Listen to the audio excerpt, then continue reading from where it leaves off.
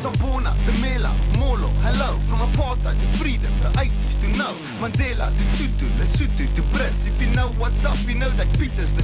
I had to create a character called Pieter-Dirk Uys, otherwise I would never have the courage to have an opinion. Society will always try and put us in the box of something that feels comfortable, and I think he was so hard to put in a box. I don't think Peter has ever had the time or the inclination to say, who am I?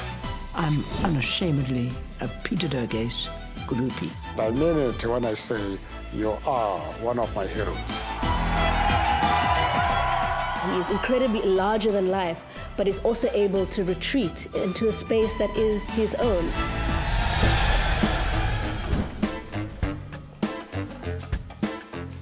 Hy's deur en deur 'n kunstenaar. Hy is die wit man met die bruine hart.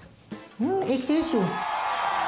He's never been silenced and he's never allowed anything to silence him. Mense soos Pieter-Dirk Uys, daai mense het kind of stuff oopgemaak vir ons. He's not done yet, by, not by any means. He is a complex uh, and very interesting person. Political correctness is not part of his armor. He's an enigma. He truly is a legend.